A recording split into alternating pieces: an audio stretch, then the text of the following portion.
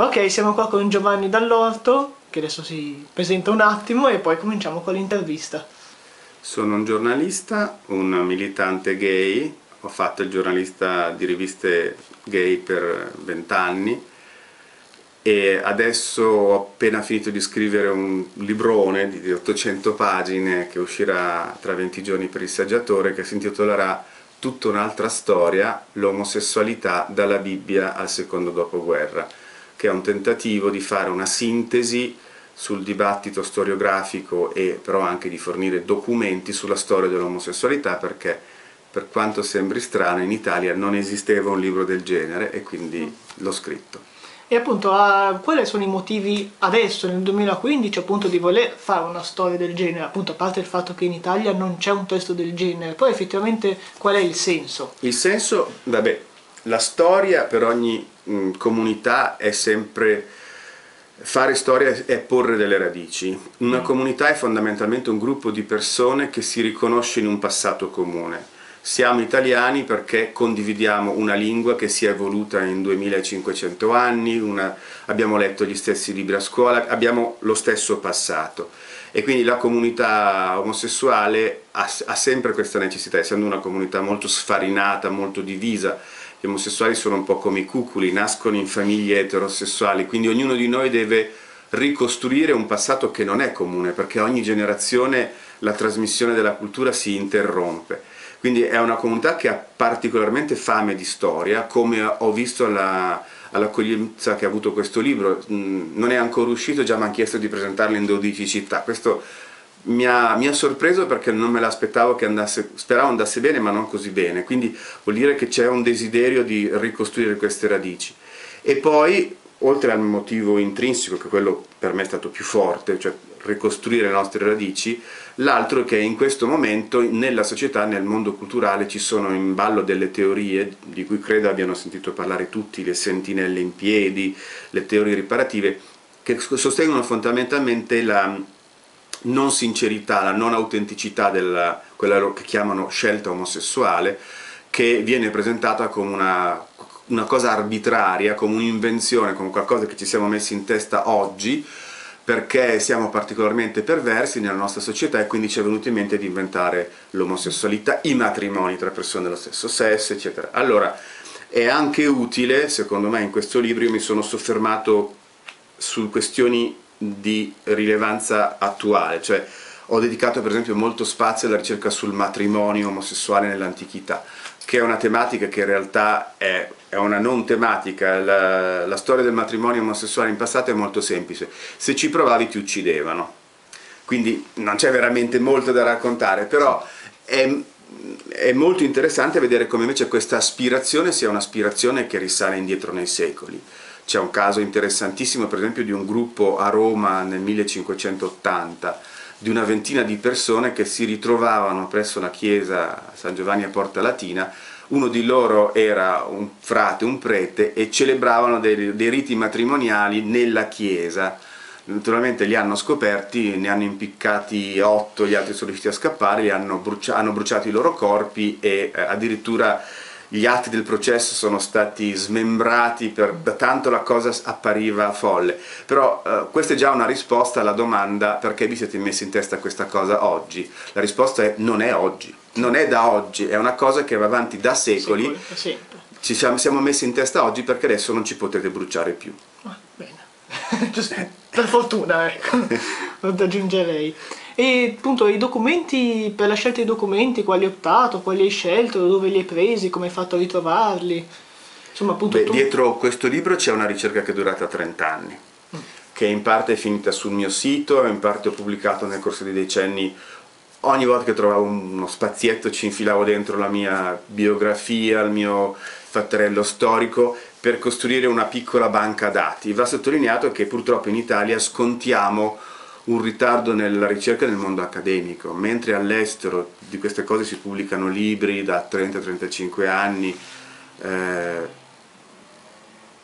anche a livello accademico. In Italia il mondo accademico finora è stato proprio chiusissimo e non è un caso che questo libro lo scriva non uno storico di professione ma un giornalista, che voglio dire non ha molto senso questa cosa però così è, anche se devo dire che proprio nel momento in cui stavo scrivendo questo libro si è verificata, cioè questo libro è stato in lavorazione per tre anni, quindi in questo lasso di tre anni, e secondo me non è un caso, si sono verificate una serie di pubblicazioni di libri di storia sulla tematica omosessuale, ehm, che implicano che è maturata la società e, e, e, il fatto stesso che abbia trovato un editore per questo libro e che in contemporanea stiano uscendo degli altri libri, delle ricerche storiche, implica che si è rotto un tabù nel mondo accademico. Che ci siano voluti 30 anni mi dice che è dovuta fisicamente morire una generazione di docenti che era proprio chiusa su queste cose ed arrivare a una generazione più giovane, più aperta di idee. Questo però ci dice anche quale sia la, il ritardo che c'è in Italia.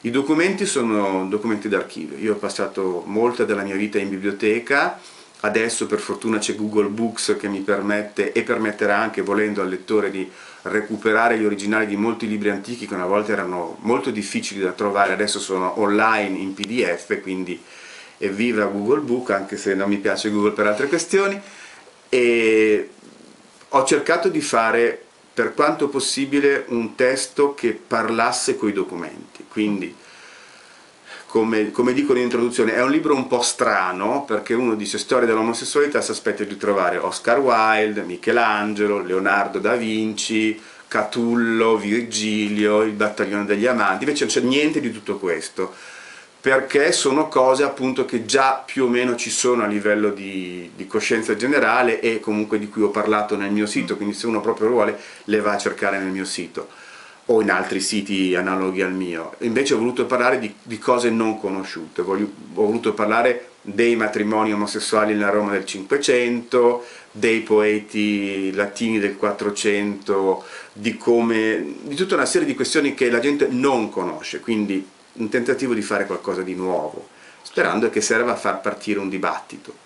E appunto un'altra domanda che, volevo, che volevamo farti era questa appunto, tu mh, mm, essere omosessuale nell'Italia di qualche decennio fa, come è sì. stato e come è stata, insomma, come si è evoluta anche la situazione? Ma io sono stato abbastanza precoce perché ho fatto coming out a 17 anni, quindi era il 1976, ho vissuto da militante la mia vita, quindi non ho, non ho, le storie drammatiche che hanno altri miei coetanei, passati 30 anni a nascondersi, matrimonio di copertura, eh, i miei urti con la famiglia li ho avuti ma li ho risolti al punto che poi mia madre ha fondato l'associazione genitori di omosessuali, quindi è, è palese che la questione nella mia famiglia è stata risolta.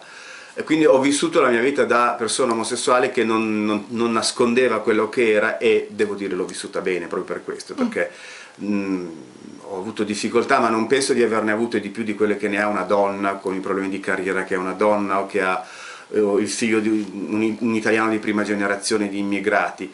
Eh, è noto che la società discrimina i diversi ma eh, anche gli omosessuali discriminano gli extracomunitari, per dire, per sì. cui è un, è un, bel gioco a chi discrimina di più gli altri, per cui devo dire non ho vissuto male la mia vita.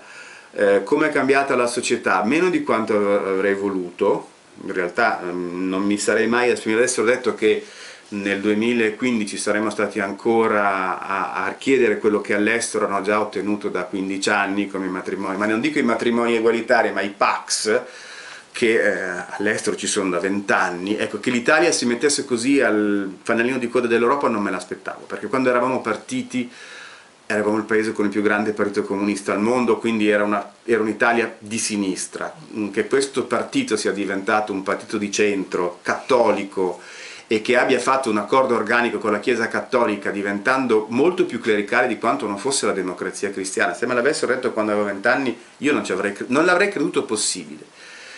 Ciò premesso, quando parlo con gli studenti universitari di 20 anni, devo anche dire che la loro visione di un'Italia immobile che è come negli anni 50 è sbagliata. In realtà i cambiamenti sono stati molto nella società civile e molto poco a livello di classe politica. Cioè noi abbiamo questo tappo costituito da una classe politica che non abbiamo né eletto né scelto, pensiamo che il nostro capo del governo sia candidato a sindaco di Firenze, ed è capo del governo, ed è il terzo capo del governo che scelgono senza neanche aver passato per un'elezione. È chiaro che una classe politica così autoreferenziale non ci rappresenta più, ma nella realtà della, della società la società è cambiata, la mentalità è cambiata. I sondaggi dicono che ormai il 51%, è una minoranza, maggioranza risicata, però il 51% è favorevole ai matrimoni gay in Italia. Basterebbe una grossa campagna televisiva per farlo scendere al 48%, per carità, però non siamo più a, ai tempi in cui la questione doveva essere ancora presentata. Sì. E diciamolo chiaramente, 30 anni fa un'intervista come questa sarebbe stata neanche pensabile, non solo perché non c'era internet, ma perché che una persona eterosessuale avesse voglia di discutere con un autore gay di un libro gay non era assolutamente Pensabile, contemplato. sì. Quindi questa è anche un po' la misura di come in- nel frattempo il mondo, l'Italia è cambiata, l'Italia è cresciuta, quindi non è, non è quel disastro che spesso diciamo, diciamo abbiamo una classe politica disastrosa, Mhm. ma a livello di cultura diffusa eh, siamo riusciti a cambiarla quest'Italia. Ecco. Poi un'altra domanda che volevo farti è appunto, si può fare distinzione ancora nel 2015 tra mondo etero e mondo LGBT o mondo omosessuale, insomma chiamiamolo... Dipende cosa intendi per fare distinzione. Distinzione intendo ad esempio eh, appunto proprio chiamarli anche mondo etero e mondo LGBT perché ad esempio secondo me, secondo il mio punto di vista, la visione di sessi diversi, di dover essere, dover dire ah io sono questo e adesso sono così e quindi credo in queste cose e quindi ho questa visione della Scusa un sessualità. attimo, perché i sessi secondo te non sono diversi? Beh, i sessi sì, sono diversi sul piano del nome, per dire se io dico sono uomo, Quindi per te andare a donna. letto con un uomo e andare a letto con una donna è la stessa cosa, perché i sessi non sono diversi se non per una questione di nome. Mm, allora dipende ovviamente da chi vede la cosa, almeno questo è il mio Parliamo punto di, di vista. te, perché quando si parla di Ok, sesso si parla del personale. Per dire, Per te è la esempio, stessa cosa uomo o donna? allora io sono eterosessuale Sì. e quindi io faccio una scelta per cui dico sono attratto. No, tu fai una scelta e quindi dici di essere eterosessuale. O in quanto appunto eterosessuale io decido di effettivamente E come fai a sapere di essere eterosessuale? Da che cosa lo deduci? lo deduco dal fatto che non ho Che mai fai una determinata che scelta. fatto una determinata scelta, non ho mai provato una determinata attrazione ancora. Perfetto. Per- E allora per te i sessi sono davvero così uguali? Secondo me sul allora, mm, secondo me si vuole andare, si cerca di andare verso una sorta di uguaglianza, Di- almeno Ma uguaglianza vuol dire monosessualità? Mm, intendo dire, in, in parte sì. Allora, mi spiego meglio. Appunto, Siamo subito entrati nella questione Sì, sì, bruciante che sentinelle in piedi a Docent. ma solo una settimana in piedi. vai, vai. No, no, ma sono le domande che poi ci costringono a porci queste persone perché creano intenzionalmente confusione, Ok. mescolando questioni e eh, impedendoci di distinguere. È chiaro, è palese, io ti- le domande le facevo a te, ma semplicemente per mostrarti come Sì, sì. nel modo in cui poni la domanda hai già implicato la risposta. Allora Mhm. ti dico, se poni la domanda in modo diverso, la risposta cambia completamente. Sì. È chiaro che i sessi sono diversi. Sono e devono essere, cioè c'è un diritto alla differenza tra uomo e donna. La donna non deve essere discriminata nella gestione del potere, nelle possibilità economiche, in quanto ha una determinata biologia, ok? Eh, la donna deve avere il diritto al, al- ma- sussidio di maternità perché biologicamente deve allattare lei, non il padre. Sì. ok? Cioè la, la maternità che adesso viene eliminata sulla base del fatto di una pretesa eguaglianza eh, è un diritto eh, civile ma è anche un atto di buonsenso perché quando la togli come sta succedendo nei lavori precari le donne smettono di fare figli. L'Italia ha una crisi demografica, è uno dei paesi al mondo con il minor numero di bambini perché è uno dei paesi con il minor numero di garanzie per la madre al momento della nascita di un figlio. Ok, Quindi eh, fingere che i sessi non siano diversi è semplicemente, secondo me, ma anche secondo la riflessione del mondo femminista, una- un modo- uno strumento di oppressione, non di liberazione. Capito. Una donna e un uomo non hanno biologicamente le stesse esigenze, specialmente quando confrontate nel momento di quello che ha reso necessario la sessuazione nelle specie animali, cioè il parto, la, la procreazione. Ci ho detto, quello di cui stiamo parlando è- sono i diritti, cioè i diritti civili devono essere identici quale che sia il sesso a cui appartieni. E ivi incluse aggiungerebbero tutta una, la colorita tribù del mondo queer il sesso a cui non ti senti di appartenere, ossia se tu hai un orientamento di genere che non corrisponde al tuo sesso di nascita, tipico il caso della transessualità, o transgenderismo come vogliamo chiamarla, eh, hai dei diritti civili indipendentemente dal fatto che tu si trovi bene nel sesso che ti è stato attribuito alla nascita. Eh, la domanda che tu mi poni, ha senso farlo? Da come è stato difficile riuscire a porla, la risposta è implicita. Certo che sì, perché vedi soltanto porre la domanda in uh-huh. quali intricazioni ci ha infilati. Perché eh, c'è questa strana idea per cui dobbiamo vivere in una società in cui siamo tutti uniformi per poter essere uguali. E la mia mm. risposta è ma anche no, perché l'uguaglianza si realizza in una condizione di differenze, cioè o riconosci il fatto che tutti gli esseri umani sono uno diverso dall'altro e hanno livelli di intelligenza, di capacità, di cultura, di abilità diversi e l'uguaglianza è qualcosa che si riconosce nel senso, è un vecchio slogan marxista ma funziona ancora, da ciascuno secondo le sue possibilità e a ciascuno secondo i suoi bisogni, ossia se tu hai un, obbligo, hai un handicap motorio, i tuoi diritti diventano un obbligo per gli altri, non puoi chiedere a una persona che ha un handicap fisico di dare lavorativamente lo stesso che danno gli altri, devi eh, concedergli delle condizioni più favorevoli. Allora, come vedi, l'uguaglianza si realizza attraverso una discriminazione positiva. Non dimentichiamoci che l'handicap teoricamente era quello che veniva messo su un cavallo che vinceva sempre tutte le corse, era un peso aggiunto, un handicap, per impedirgli di vincere tutte le, le corse lui eh, e la metafora è molto carina, peccato che qua l'handicap venga messo addosso a una persona invece che no, non era destinata a vincere tutte le corse, che gli impedisce di arrivare prima. Eh, in questa società in cui c'è questa ideologia liberista per cui bisogna essere dominanti, vincenti, arrivare sempre primi, non c'è posto per i secondi e i terzi arrivati, figuriamoci poi per gli ultimi arrivati. Non solo l'uguaglianza è qualcosa che va costruito e non viene più costruito, pensate a Renzi con il suo Jobs Act, dà dei soldi per rilanciare l'economia, ottima idea. A chi li dà? Ai disoccupati che non possono spendere? No, li dà a chi ha già un lavoro in regola. Questa è la logica in cui viviamo e non ci si riesce neanche più a rendere conto del fatto che forse i soldi vanno dati a chi non ha soldi, non a chi li ha già. Non, non è culturalmente previsto. La nostra società è fatta in modo per cui quando si parla di uguaglianza si tende a dare i soldi cioè a occasioni agli eterosessuali perché non bisogna discriminare i poveri eterosessuali.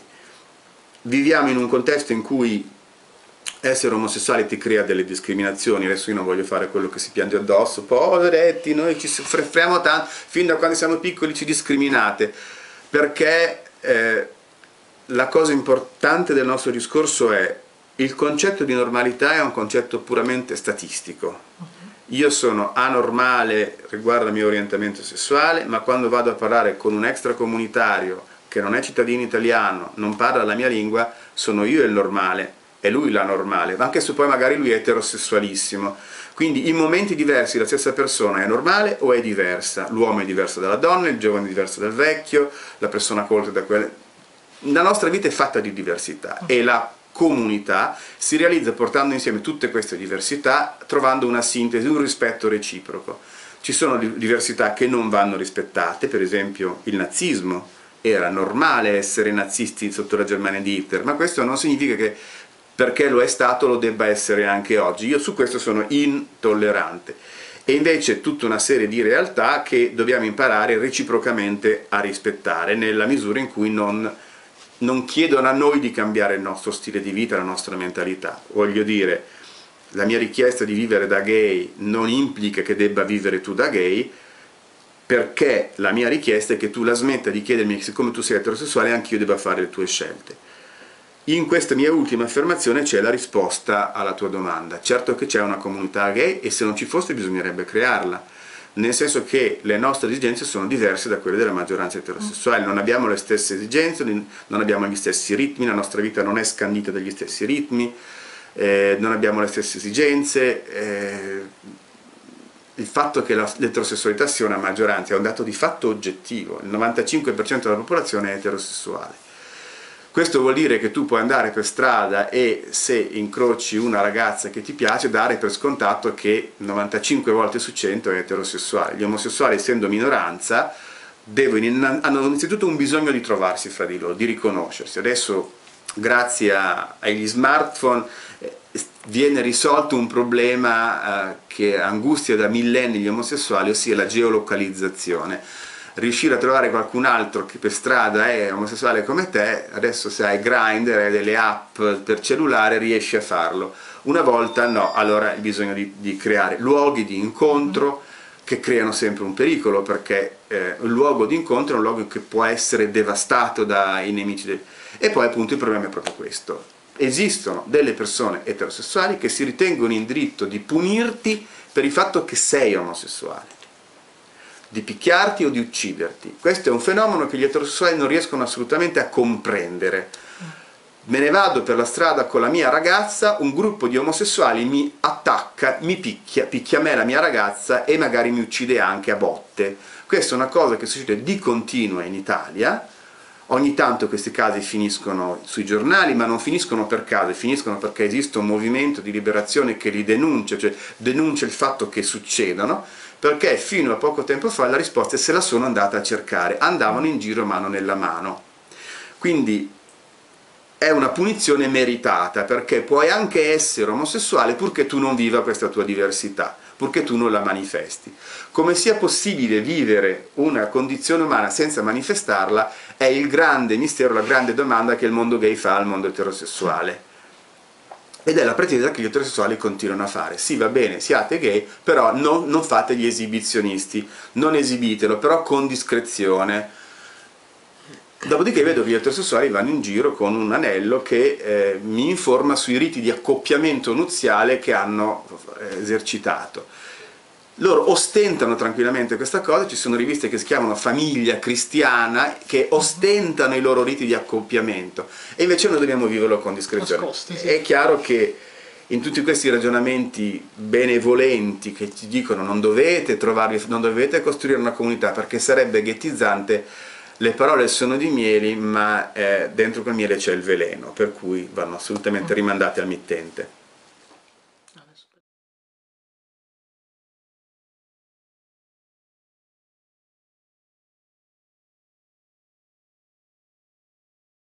Dire No, anche nell'intervista no. Ma sì, grazie, vabbè, perché tu sei il portavoce e rappresenti un punto di vista diffuso tra i ragazzi della tua generazione mm. e quindi è giusto che venga espresso in modo che io possa poi trattarvi male rispondendo. Ah, ok, sì, perché però cioè, secondo me la questione non si esaurisce, nel senso, cioè una risposta giusta o sbagliata non c'è, secondo me. Ma nessuno di noi ha la verità, sono punti di vista che si confrontano. Quello che dico io è mh, mm, parlare di due mondi differenti, quindi il mondo eterosessuale e il mondo omosessuale che poi tu dicevi ci sono no, delle esigenze, dei bisogni diversi, anche lì non lo so, cioè non so se sia così, secondo me non lo è. Mm, perché, perché, io che mm, volendo mi voglio sposare, ok, non posso avere poi gli stessi ritmi di una famiglia eterosessuale.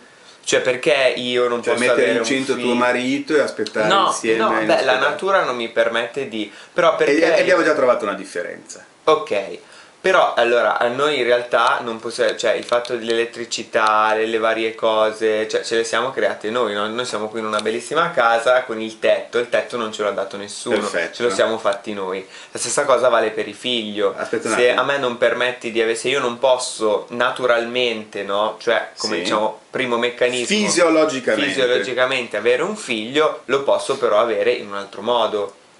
Quale? Ok, adottarlo oppure a, e se non puoi adottarlo ci sono 30 famiglie che richiedono l'adozione per ogni bambino in stato di attualità, cosa fai? Mm. crei delle fabbriche in Thailandia per cominciare a produrre figli ma no perché sa, ora come ora non c'è una richiesta così elevata ci sono un sacco di bambini che hanno Stiamo delle sofferenze stiamo parlando di mercato però in questo momento no secondo me no chi sono questi bambini che hanno delle sofferenze? sono dei bambini che nel mondo anche sì. qui in Italia ci sono un sacco di bambini che hanno dei traumi come chi quelli sono? che vivono nelle case famiglie chi sono, sono figli bambini? di famiglie eterosessuali sono figli di famiglie eterosessuali che età hanno? Eh beh, qui dipende, io poi non lo so. 7, 8, 10 anni parla- no, stiamo parlando con... da, da quell'età lì anche fino ai, ai 17-18 anni sì, quando poi raggiungono ma lì, vedi, vedi, adesso non, non, non, cominceremo a parlare di adozione perché no, è un argomento vabbè, che da solo meriterebbe. Però quello no, ferma, ferma, ferma. Ma tu hai l'idea dell'adozione come io vado, vado a prendere un bambino eh, in una casa d'adozioni, così come voglio un cane, vado nel canile, trovo un cane abbandonato no, me lo porto a no. casa. Ferma. Secondo me la differenza basilare tra il cioè la coppia omosessuale se vuole un bambino, ok?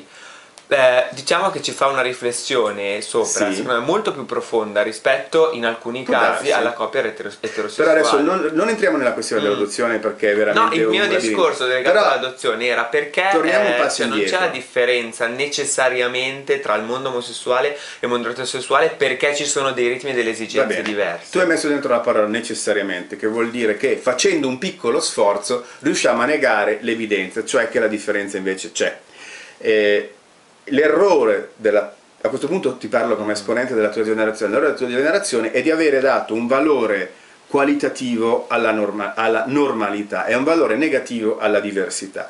La diversità è un concetto puramente statistico, è diverso ciò che la maggioranza non fa, ok? Mm. Era normale essere nazisti nella Germania di Hitler, mm-hmm. non era normale in quanto tale. Ah, il fatto di essere diversi, di riconoscere la propria diversità, eh, è una cosa secondo me che dovrebbe essere appunto normale in chi lo è. Se tu sei un alto atesino e parli tedesco, non è normale essere un cittadino italiano e parlare tedesco, però nella zona, in Alto Adige, è normale, ok? Mm. E non è, non è, anormale parlare tedesco in Germania. Allora dire che gli altoatesini sono una minoranza linguistica non è un errore e cominciare a dire ma perché questi pretendono di avere i documenti di identità in, in tedesco? Perché vogliono questa discriminazione? La risposta è li vogliono perché sono diversi, ci sono dei trattati internazionali in base ai quali siamo tenuti a, a fare delle carte di identità bilingue certo. in Alto Adige, o su Tirolo okay, come si, si vuole. Se noi siamo diversi, perché dobbiamo fingere di non esserlo? Semplicemente perché abbiamo questa ansia di normalità. Siamo subito finiti a parlare di matrimonio e adozione No, come ma era se, solo un ferma, come se la procreazione non fosse invece il grande punto interrogativo che rende diversa una coppia omosessuale da una coppia eterosessuale. E questo non è una costruzione sociale. La costruzione sociale è impedire il matrimonio. l'impossibilità di procreare all'interno di una coppia omosessuale, eh, perlomeno con i due coniugi, perché poi una coppia lesbica può anche procreare con inseminazione assistita o anche semplicemente andando a letto con l'amico della famiglia. Eh? Mm quindi in modo assolutamente naturale, eh, è un dato di fatto oggettivo, anzi a questo punto di vista dovremmo smettere di trattare le coppie lesbiche e le coppie gay all'interno dell'istituto matrimoniale come se fossero un'unica realtà. Sono due realtà diverse fra di loro, quindi vedi, la diversità è una cosa molto più diffusa sì, di quanto ma io non, sto, io non sto negando la diversità assolutamente, sto solo dicendo che secondo me imporsi, no, dire esiste un mondo omosessuale che è minoritario e un mondo eterosessuale che è maggioritario, necessariamente obbliga la persona che può essere l'adulto, il ragazzo e l'adolescente e secondo me questo sì, discorso a fare una valere, scelta a fare una scelta poi tu mi dici vabbè e fare scelte è una cosa importante cioè fare scelte è la cosa che fa l'adulto okay. il bambino non ecco. fa scelte perché c'è qualcuno che le fa per lui però l'adulto appunto, fa le sue secondo scelte me costru- cioè, è come se eh, non so tu dovessi creare qualcosa no? ti si dice lo fai così o lo fai così ok cioè no, su quel modello no, lì o su no, quel modello lo lì? fai così o lo fai così o lo fai così o lo fai così. Puoi cucinare la cucina italiana, puoi fare la cucina vegetariana, puoi fare la cucina vegana, lo fai così o così. Il problema è che non puoi cucinare la carne e fare vegano. Questa è una scelta di, a fronte di cui la vita ti mette e di fronte alla tua generazione che non è più capace di fare scelte perché scegliere è brutto, definirsi e limitarsi, ogni scelta è una limitazione, questo è vero se cucini le polpette non stai cucinando vegano. Mm. Se cucini le polpette certo, vegane non stai mangiando Però, carne. Secondo me l'ultima cosa, il problema è proprio questo, del doversi necessariamente, cioè doversi considerare un qualcosa di diverso, non in tutto e per tutto, però nelle, nelle cose, diciamo, nel maggior siamo. numero di cose. Ma se siamo diversi, secondo perché ci no. doversi considerare? Secondo me no. Io allora, ti dico la verità, da ragazzo di 21 anni, eh, io mi sono, sono informato, no, eccetera. La visione della generazione, anche solo di una generazione, la generazione degli anni 80, ok? Non, non vado troppo indietro. eh, degli anni 80 hanno un modo di concepire eh, il, eh, loro stessi rispetto alla società italiana, perché poi secondo me la società italiana ha tutto un suo perché, nel senso che è tutto un suo... Eccetera. Ok, un micromondo. Eccetera.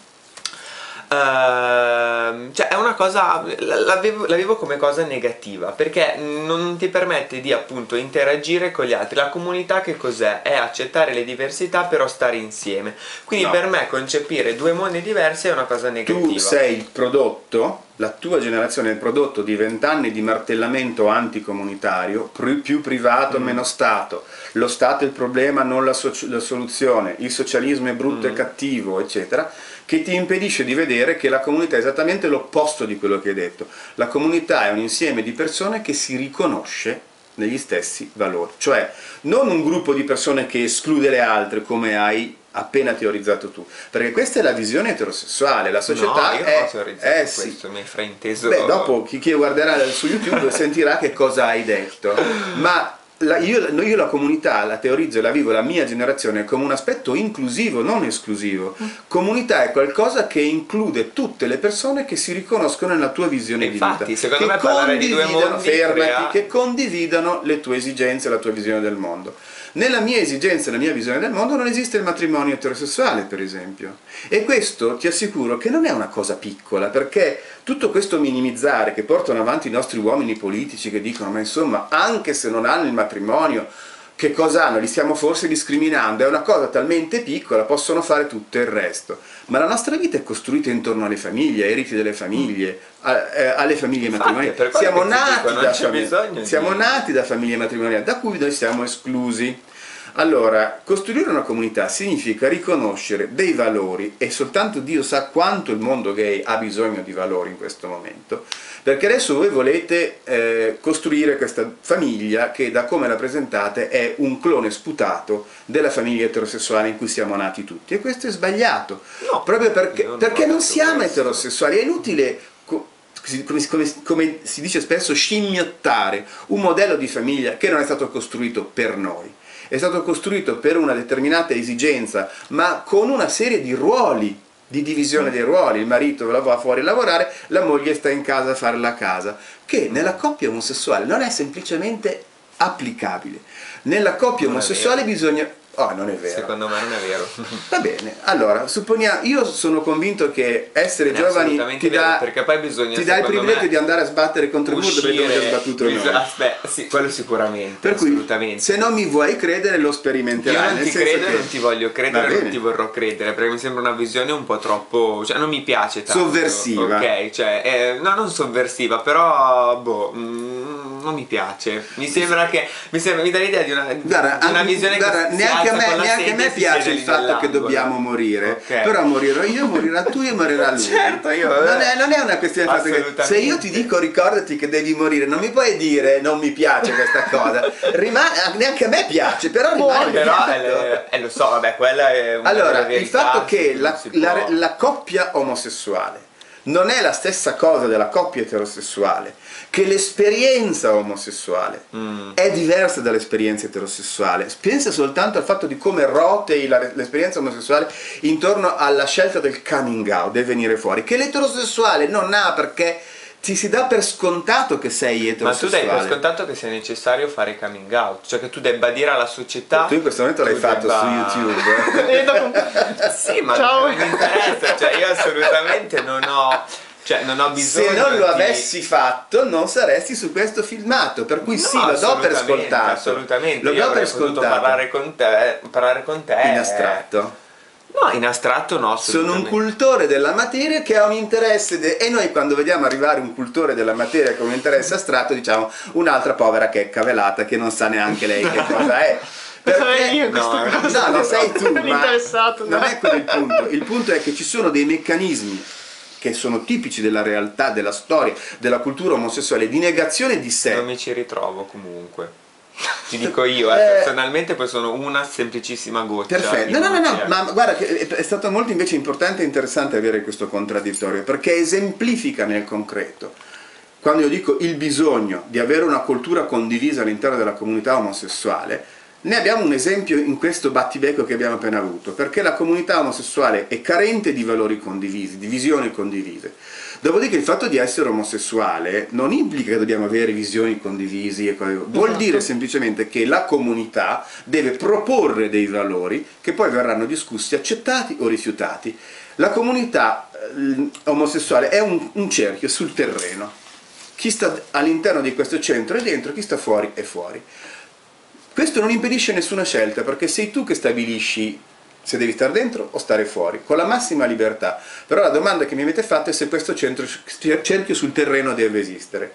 La risposta è sì, proprio perché permette delle scelte, una delle quali è eh, affrontare una terapia riparativa e eh, aggiustare la propria omosessualità diventando eterosessuale, sposandosi con una donna e facendosi perdonare da Dio per tutti i peccati che ci sono. Vabbè, ma questa è una visione tipicamente italiana. No, è una senso- visione mondiale perché le terapie riparative nascono negli Stati Uniti e da noi vengono solo importate. Però ti voglio solo fare notare come nella tua visione dicotomica, per cui eh, no, vabbè, tricotomica, per cui o sei un eterosessuale tradizionale, o sei un omosessuale tradizionale, o sei niente. Eh, non trova spazio tutta una serie di altre alternative. Sia un omosessuale che si nega, per esempio.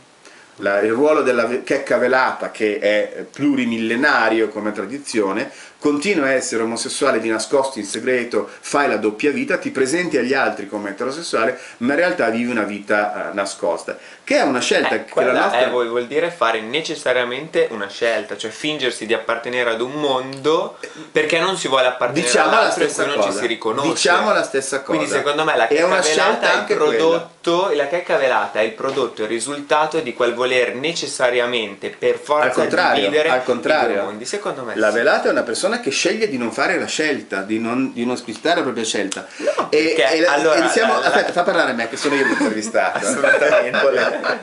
Eh, l'errore fondamentale è credere che anche il non scegliere non sia una scelta. Non puoi non fare scelte se sei una persona adulta. Che tu scelga di essere gay, che tu scelga di essere etero, eh, non si sceglie che cosa si è si sceglie che cosa vivere di fronte agli altri. O se tu scelga di non scegliere e quindi fai che si chiama la doppia vita, hai fatto comunque una scelta. L'unica cosa che possiamo dire è che la scelta di chi fa la doppia vita è una scelta insincera, perché come minimo parte dall'inganno Beh, della partner. assolutamente. Ok? Non, non sto giustificando quello. E, e nota bene che io sono altrettanto contraria alla scelta gay da parte di un eterosessuale quanto di quella eterosessuale da parte di, di un gay, nel senso che contrariamente a quanto dicono i sostenitori delle terapie riparative, noi non vogliamo fare diventare gay gli etero. Primo perché non ce ne frega niente, a parte quando ci sono certi buonazzi, in effetti, che ti dici, eh, tanta carne sprecata, peccato non sia gay, vabbè, ma è una battuta questa. Però l'idea dei, delle sentinelle in piedi che noi vogliamo convertire i bambini per reclutare è una minchiata, perché tutti noi sappiamo che non siamo stati reclutati da nessuno, ci siamo svegliati un giorno e ci siamo accorti che ci piaceva il compagnino di, di classe, che ci eccitavamo quando facevamo ginnastica, i nostri compagni si... Ognuno ha avuto il suo modo, magari forse oggi i ragazzini hanno visto il video porno in- online, vabbè, voglio dire, ma eh, è qualcosa che non abbiamo scelto, non stati- è qualcosa che- a- con cui abbiamo dovuto arrivare a patti. La, la doppia vita è una scelta di non venire a patti ed è una scelta insincera, si basa sull'inganno. Allora, finché inganni i colleghi di lavoro, eh, gli elettori, chi se ne frega, voglio dire, se io un domani mi candidassi, non mi candiderei per raccontare ai miei elettori con chi vado a letto, ok? Per cui la doppia vita di un politico mi può ancora andare bene. Ma quando tu ti sposi con una donna e le racconti una palla e gli presenti un- quello che tu non sei. Infatti, giustamente, l'omosessualità nascosta del coniuge è uno dei motivi dirimenti fondanti del divorzio, addirittura dell'annullamento del matrimonio cattolico. Quindi persino i nostri avversari riconoscono che la profonda insincerità dell'omosessuale che si sposa rende nulla la promessa che ha fatto. E tu questa me la presenti come un uscire dalle scelte obbligatorie? Commento, Beh, io già la parola avversario non la utilizzerei mai. La Chiesa non è il nostro avversario? Mm, Ma in che mondo vivi, bello? No, guarda, io ti dico, la- no, no, perché Il mondo degli unicorni. No, non mi Nel piace. migliore dei mondi possibili. No, non tutto- vivo in nessun mondo dei, non vivo in un mondo migliore possibile. Ma guarda che tu vivi in questo mondo, anche se non pensi di viverci. Perché Io sono purtroppo per fortuna figlio ovviamente della, della mia società. tutti no? lo siamo.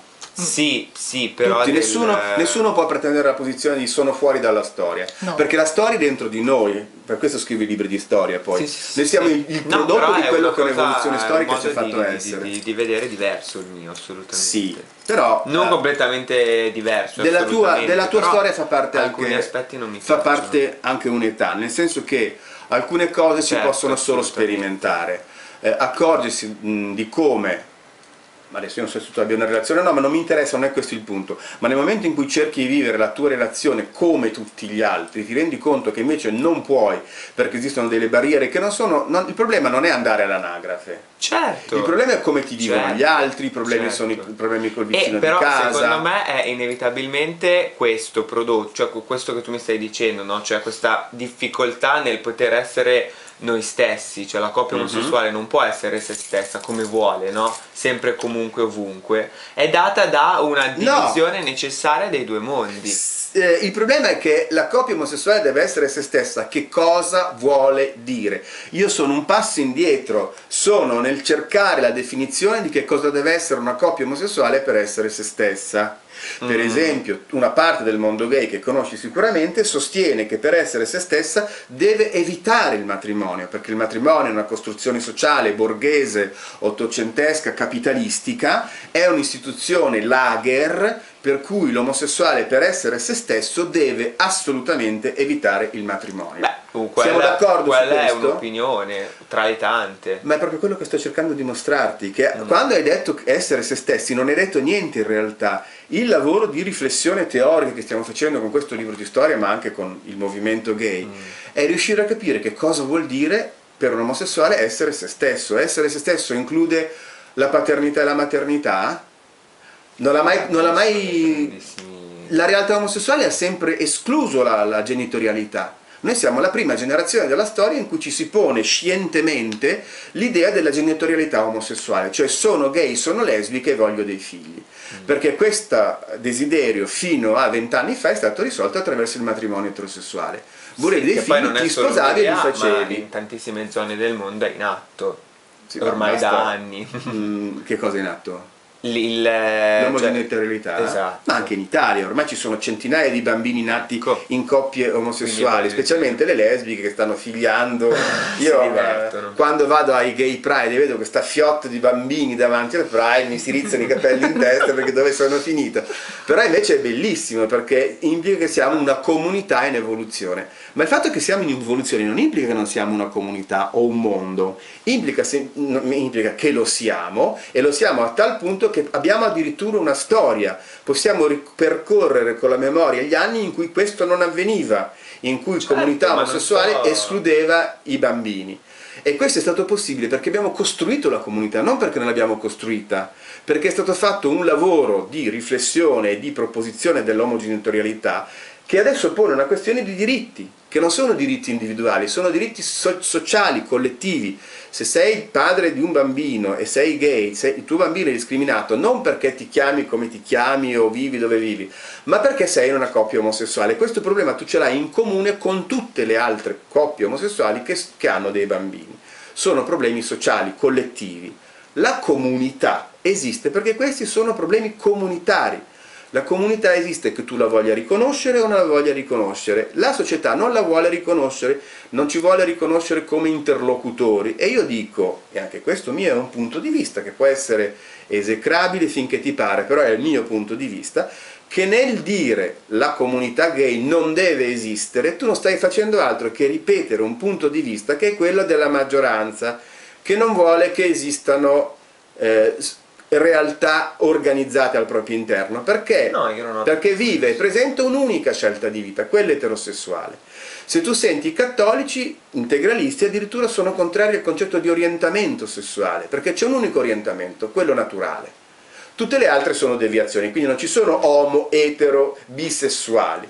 Esistono solo gli eterosessuali e i malati. Tu cosa rispondi? Rispondo, rispondo, che si può assolutamente discutere e che poi la Ma io non ci discuto verità... con questi, li butto giù dalla finestra. Comunque. Sì, no, è questo, cioè, però quello che ci tengo a dire, non, non nelle interviste, eccetera, dico solo che non sto dicendo che io non voglio riconoscere il mondo omosessuale, dico solo che dividere il mondo omosessuale. Il mondo omosessuale esiste mondo... che tu lo riconosca o non lo riconosca, esatto, non è un esatto, problema che tu lo riconosca. Ti dico io personalmente, visto che mi sono permesso di, di controbattere, ok? Eh, diverso dal mondo eterosessuale perché, però quello che dico io è che non c'è bisogno di creare antagonismo e secondo me è un po' quello che è stato fatto Beh, con le il, il problema di questa nostra conversazione e poi scusami l'ultima cosa il mondo omosessuale cioè non è che sia un mondo omosessuale la pensano tutti allo stesso modo come tutti gli eterosessuali è per quello che io dico cioè alla fin fine sono due mondi che si mischiano su tante questioni sì. alcuni si uniscono alcuni allora si... il problema di questa cioè, conversazione sono le implicazioni il non detto le cose che tu dai per scontato senza averci riflettuto sopra hai appena detto che non devono essere antagonistici ok? Mm-hmm la domanda è perché dovrebbero esserlo? Chi ha mai detto questa cosa? Tu dai per scontato no, che una comunità no. omosessuale debba essere per forza no, antagonista. Non sto dicendo quello, io sto allora, dicendo su quello scusa, che su come eh, per tutto adesso parlo io. È come quelli che non vogliono fare costruire le moschee perché vedono le moschee come antagonistiche rispetto al culto cattolico tradizionale italiano. Perché deve essere antagonistico? È alternativo. Dov'è l'antagonismo? No, ti dico quello che percepisco io. Sì, lo percepisci, però ah, secondo me, ripeto, sempre un punto di vista discutibile, in base a una propaganda che ti hanno martellato nella testa, secondo cui le comunità le sono sempre negative perché la società deve essere monolitica, unica, deve esserci un'idea che va, un vestito che si adatta a tutti. Invece, la, il tuo stesso fatto che tu abbia detto antagonistico, perché antagonistico? Deve essere alternativo, deve fornire dei valori coniugati secondo le esigenze eh, dei... L'insegnamento della lingua tedesca in Alto Adige non è antagonistico alla, alla lingua italiana, è alternativo. Tant'è vero che i bambini tedeschi imparano l'italiano e i bambini italiani studiano il tedesco, per imparare un altro discorso. E infatti c'è una mescolanza, no? Ho capito, ma ci sono due tipi di insegnamento però. Ci sono Beh, due, ci sono, beh, perché ovvio. ci sono due comunità linguistiche. Allora, per poterlo fare si è dovuto riconoscere il fatto che queste comunità esistevano e sono state anche messe le bombe sotto i tralicci dell'alta tensione per arrivare a questo. Adesso noi non arriveremo mai al terrorismo, per fortuna. Forse. Ma che la maggioranza italiana non volesse riconoscere i diritti linguistici dei tedeschi in, su Tirolo è un dato di fatto storico che il fascismo abbia represso, impedito l'uso della lingua tedesca in Sud Tirolo è un dato di fatto storico.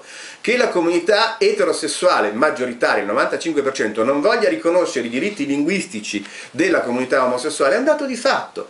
Che poi eh, tu ci, ci, ci ritrovi in questo punto di vista, è tuo diritto, e qui viene la seconda cosa che mi dicevi che è vera, il fatto che siamo tutti froci non vuol dire che dobbiamo pensare allo stesso modo su tutto implica semplicemente che dovendo a scegliere a una festa con chi andare a letto alla sera, probabilmente io e te puntiamo le stesse persone, cioè non persone di sesso femminile. E questo è tutto. Tutto il resto è una costruzione. Una costruzione sociale in primo punto, perché non si vive l'omosessualità in Italia come la si vive in Arabia Saudita o in India, ma anche negli Stati Uniti. Non la si vive oggi come la si viveva 200 anni fa, 200 anni fa nessuno avrebbe discusso pubblicamente delle sue scelte davanti a un pubblico potenziale di milioni di persone e non la si vive nello stesso modo in età diverse della vita, perché alcune cose le dico per esperienza, altre le dico non per esperienza. Quando io parlo di costruire una comunità omosessuale, parlo proprio di questo, del fatto che dobbiamo cercare dei valori comuni e fondanti, di uno stare insieme ma attenzione, la comunità nella mia visione, non nella tua, è una condivisione di valori, di scelte e di solidarietà. Non, è, non facciamo comunità per buttare fuori gli etero, facciamo una comunità per tirare dentro quelli che sono troppo deboli, troppo in difficoltà, per poterci stare dentro. Facciamo comunità per aiutare l'ondata che sta arrivando di italiani di prima generazione che sono nati in famiglie islamiste, eh, con una cultura ipermaschilista che vengono sposate, le, le bambine pakistane sposate a 14 anni a un cugino in Pakistan ma che hanno vissuto la loro intera vita in Italia che magari sono lesbiche di matrimonio proprio non ne vogliono sentire parlare. Che cosa possiamo fare per loro? E qualunque cosa decidiamo che possiamo fare per loro non possiamo farle se non cominciamo a concepire l'idea che queste persone appartengono alla nostra comunità. Perché poi possiamo anche dire, ma quelli sono extracomunitari, cazzo ce ne frega. Allora, che, che cosa abbiamo in comune io e una ragazzina pakistana lesbica di 14 anni? L'età no, la cultura no, la religione no, magari neanche la lingua no perché quella parla urdu e io parlo italiano. Che cosa, cosa, possiamo avere in comune? La mia solidarietà nei suoi confronti, da che cosa può nascere? Io sono maschio e lei è femmina. Allora, la comunità è l'attaccapanni, è un chiodo nel muro, ok? A cui attacchi le, i concetti che vogliamo utilizzare. È un modo per riconoscerci come parte di una stessa realtà. Senza questo concetto non è possibile solidarietà non lo facciamo per escludere gli eterosessuali, non lo facciamo per escludere il marito della ragazzina lesbica 14enne pakistana, non è quello lo scopo, lo facciamo per offrire a questa ragazzina un'opzione, una scelta, un'alternativa. Se poi farà le sue considerazioni vedrà che le conviene di più sposarsi il cugino pakistano che è ricco anziché fare la lavorante in un call center in Italia, deve avere questo diritto di farlo, ma deve avere l'alternativa. Certo, però dico l'ultima cosa, eh, la bambina pakistana che appunto ha, lesbica. Deve sposare, lesbica che deve sposare il cugino si trova in una situazione perché? Perché lei è all'interno di una comunità eterosessuale. Bravissimo, ed è anche di una comunità pakistana ed è all'interno di una okay. comunità italiana che discrimina ecco. gli extracomunitari, eccetera, eccetera. Io parto da un principio secondo me molto astratto, poco attualizzabile, ok? E soprattutto cioè, da mettere in atto è molto difficile, cioè pensarci come comunità, dividere, creare due comunità solo per i dividere, sessuali. Ma no, vedi che siamo veramente no, perché se secondo me se si Per te comunità è qualcosa che divide, per me è qualcosa che riunisce. Eh sì. Quando dici che c'è un conflitto generazionale è vero, però se mi permetti, non per, per barbonaggine, se io ti dico che concepire le comunità come luoghi di unione anziché come di divisione è molto più costruttivo, spero che tu veda almeno il mio punto, nel sì, senso sì, che... Quello sì, però io ti dico, eh, in base solo le, diciamo creare queste due comunità solo per il gusto sessuale non sono due, sono me. mille eh però se io dico omosessuale se io dico eterosessuale dico due e cose e bisessuali?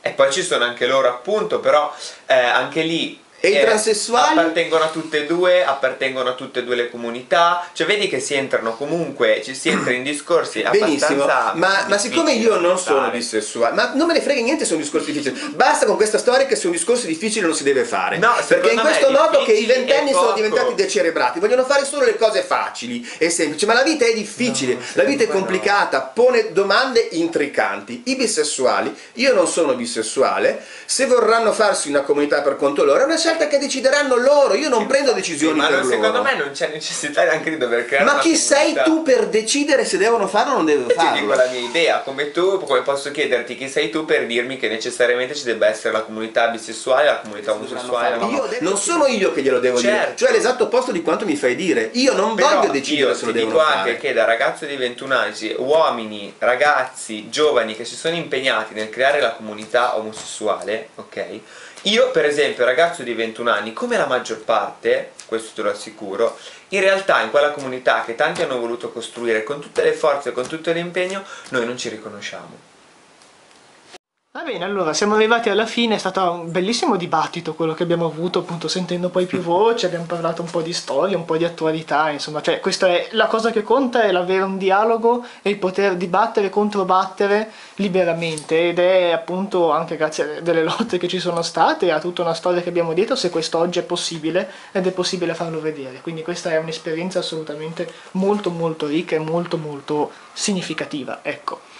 Quindi appunto ringrazierei ancora Giovanni Dell'Orto per la sua disponibilità a dir poco immediata perché l'ho contattato e dopo una settimana ci siamo, nemmeno ci siamo visti e ovviamente vi invito... I vantaggi della disoccupazione. No. Beh, può avere dei vantaggi, diciamo a volte. a volte. Allora. Eh, quindi di niente appunto lo ringrazio, vi ricordo di appunto che il suo libro esce tra una ventina di giorni, poi troverete sulla mia pagina, su pagina Facebook, troverete qua sotto anche link, non link, tutto quello che dovete sapere, insomma per andare a recuperare tutte le informazioni, il suo sito e quant'altro. Non è meglio girare la macchina in modo che vedano te mentre parli? No, io non mi faccio mai vedere. Ah, okay. eh, sentono sempre la mia voce ma non mi vedono. Okay. Mai, eh. Un'essenza misteriosa. Esatto, mi piace tenere il mistero. E niente, appunto, eh, noi ci, appunto, per vari contatti, varie cose, o scrivete appunto direttamente a Giovanni, che tanto trovate su Facebook, come pagina Facebook, oppure appunto venite sulla mia pagina, che è quella del Letterarte, appunto, Letterarte Blog, e da lì, eh, niente, troverete tutti i link, scrivete, metto in contatto, cose, insomma. Comunque ne riparleremo sicuramente anche in articolo. Quindi niente, per Grazie. il momento, grazie a te Giovanni, Grazie. e alla prossima direi. Alla prossima, grazie. Alla prossima.